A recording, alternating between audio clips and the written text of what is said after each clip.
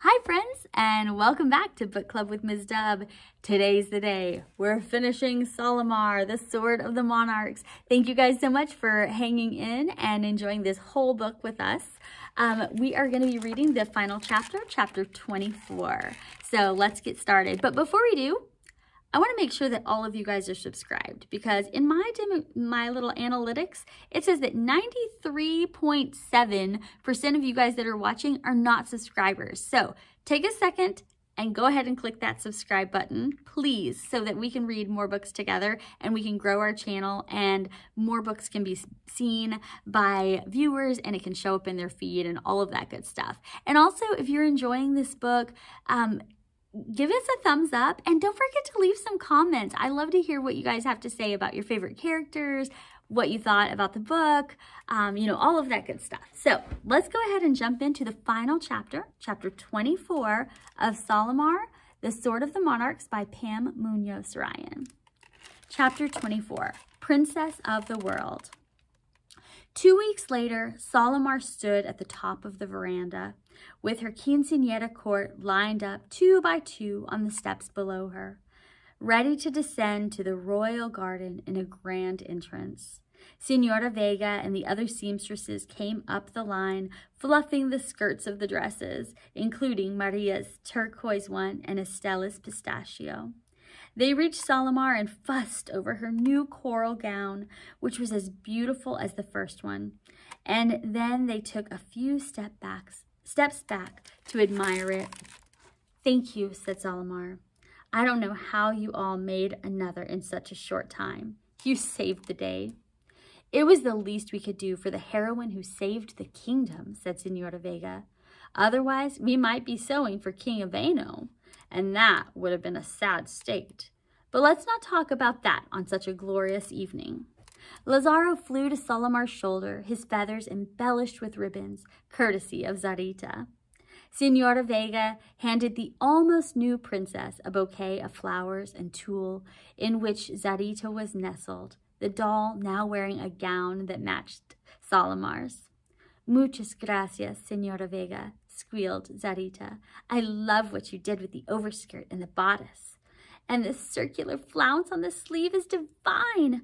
Do I look lovely? Of course, said Senora Vega. I knew exactly what you would like.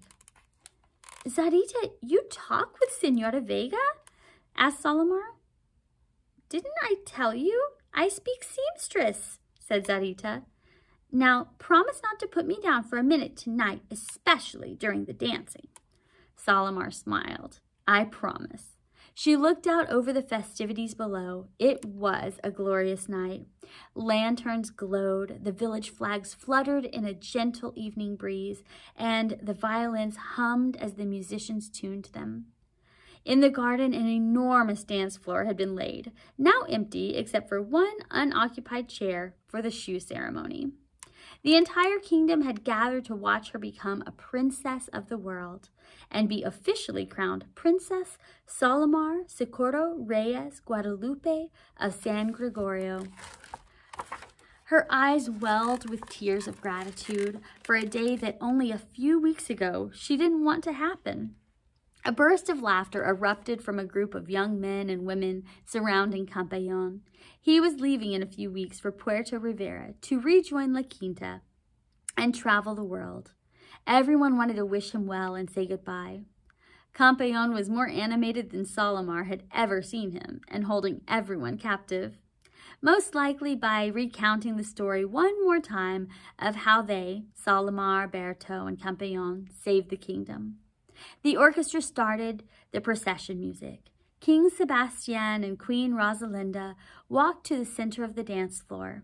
He carried a shoebox, and she held a satin pillow cradling a crown. Solimar couldn't find where it was written that only her father should participate in the shoe ceremony, or that only the king could crown her, so she asked for both of her parents to do the honors. Her court proceeded down the steps, the girls and boys wearing wreaths of dahlias and ivy. Berto looked a little stiff and uncomfortable in his white suit and vest, but stood tall and proud. Solimar had been overjoyed when he agreed to come and bring his mother and sisters. After the entire court formed a semicircle around the empty chair on the dance floor, King Sebastian raised his arms and the crowd hushed. The orchestra began a dramatic and triumphant march. Slowly, step by step, Solimar descended to the dance floor and her designated spot. With her skirt and its many layers of tulle, she carefully sat down, but one of the chair's legs was shorter than the other. It rocked back and forth, and for a moment, Solimar teetered. Berto stepped up. I can fix that, he whispered, pulling a handkerchief from his pocket, folding it into a wedge, and sliding it under the chair leg. Solimar grinned. The king knelt in front of Solimar, slipped off her flat shoes of childhood, and opened the shoebox. He fitted and tied the high-heeled shoes that symbolized her bridge into womanhood, a fancy wedge version of an all-terrain sandal. The queen, with tears in her eyes, fastened the crown on Solimar's head. Everyone in attendance erupted in applause and cheers. Her father held out his arms for the first dance. As they waltzed, he said, This is the happiest of days for me, and much of it is because of you, Solimar. Why did you risk so much? For San Gregorio, our heart and our home. His eyes brimmed, and he nodded. Speaking of homes, we are officially adopting Valle Granada as part of the kingdom of San Gregorio. They are no longer kingdomless, and we're investing in a reservoir system to help bring Ber to help Berto bring the river water to their valley. That's wonderful, but Father, I'd also like to explore the possibility of using the river as a faster route to the port someday, said Solimar. The king nodded. That would benefit San Gregorio and Valle Granada. Did you know that pomegranates have medicinal uses, proving beneficial in treating fevers? And the fruit juice is an age-old remedy for memory loss. Abuela is thrilled. Solimar glanced to the side of the dance floor where Abuela, Doña Flor, and Berto's mother had their heads together talking. Solimar smiled. Of course she is. I want to hear more, said King Sebastian. But first things first. He stopped dancing and searched the dance floor. Where's Campeon? He and I made an important decision last night, but he wants to be the one to tell you. Here comes Senor Verde. Let me hand you off to him for a few minutes, and I'll find Campeon. Senor Verde cut in. Oh, the day we've been waiting for. It's so lovely. By now, of course, everyone knows you fooled King Aveno. But you were brilliant. But I've been puzzling over something. Tell me exactly. Tell me how exactly did a vicious whirlwind come forth from the forest at that precise moment? Was that somehow your doing too? You know how I love these little tidbits of information. Um, well, I... Solimar hesitated. Excuse me, Senor Verde. Campeon took Solimar in his arms and swept her across the dance floor. I saved you from the shadow. Thank you. What am I going to do without you, she said, laughing, but not entirely joking. When she looked at his face and how happy he was, she set aside for the moment how much she would miss him after he left. Now, what is this very important decision father mentioned? Campeon laughed. First, congratulations, Sully. This is a great party. You're officially royalty and it suits you. You were born to lead. And that brings me to the news. He raised his eyebrows, teasing. Are you sure you want to know? Of course, tell me. He stopped waltzing, took her hand, and led her from the dance floor to a nearby stone bench where he faced her. Campeon took a deep breath and smiled. As you know, I'm leaving on La Quinta when they dock again. I signed on for four years. I'm going to talk father into creating a transport fleet for San Gregorio, although he doesn't know it yet. If we can sell goods in one port, we can export and import from around the world. Is that the news? Campeon shook his head. As you're aware, in San Gregorio, only a prince can become king. So father and I signed legal papers last night. While I'm gone, You will be the Prince Regent of San Gregorio. The what? Prince Regent. It means prince in the absence of a sovereign. Solimar's heart beat a little faster. You and father can do that? We can, and we did. And that will make you the first in line to the throne. Father is planning to step down in three years when you turn 18. So at that time, you will become the king regent until I return from my travels. He grinned and winked. That is, if I return.